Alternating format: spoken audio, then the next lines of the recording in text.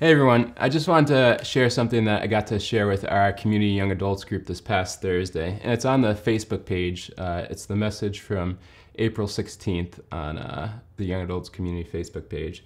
But um, it's from uh, Luke chapter 9, verses 23 through 26, if you want to turn there.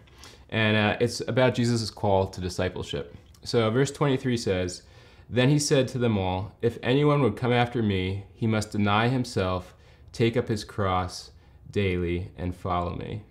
Now, one of the most important things to understand about this verse is it's not a call to salvation. Salvation is a one time faith decision where we put our trust in Jesus Christ and are saved by faith alone in Christ alone. This is a call to do something daily. And as Christians, we're not only called to trust Jesus once as our Savior, but we're called to live daily for Him. And this is what this passage is about. So, what does this daily walk of discipleship look like? Well, in verse 23, it says, If anyone would come after me, he must deny himself. We have to say no to our plans and desires and put Christ's desires and his heart, what he desires, what he values, above our own desires. That's the first thing. The second thing it says is take up his cross daily. Now, back in the Roman times, the cross, and probably still is, one of the worst forms of torture and death. And Jesus here says to take up your cross daily. And sometimes living for Jesus um, can be painful because we want the things that we want to do. And sometimes submitting to Christ isn't the easiest thing to do. It's Jesus compares it to the, the cross, a, a method of torture and death. And he, we should follow Jesus. We should follow in his footsteps. We should live the way he lived. We should walk the way he did.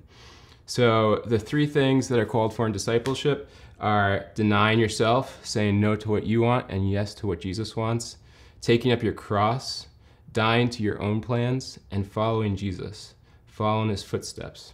And then Jesus follows with three reasons why we should follow him in discipleship. The first one is in uh, verse 24 For whoever wants to save his life will lose it, but whoever loses his life for me will save it. And the idea here is that even though living for Jesus sometimes looks like we're losing what life is about, we're really gaining what life was really meant to be. Even though it looks like we're losing, we're gaining life. That's verse 24. Verse 25 What good is it for a man to gain the whole world and yet lose or forfeit his very self? So if you live for yourself and gain everything, gain all the money in the world, gain everything you ever wanted, but you die one day, what good is it? You never lived for Christ. You don't have any eternal riches stored up. So the idea in verse 25 is even if you live the way you want and you gain everything you ever wanted in life, what good is it one day when you die? Because eternal riches and rewards are so much more valuable than temporal ones. So remember that. Verse 25, that's the second reason. The first reason is even though it looks like you're losing life, you're gaining life.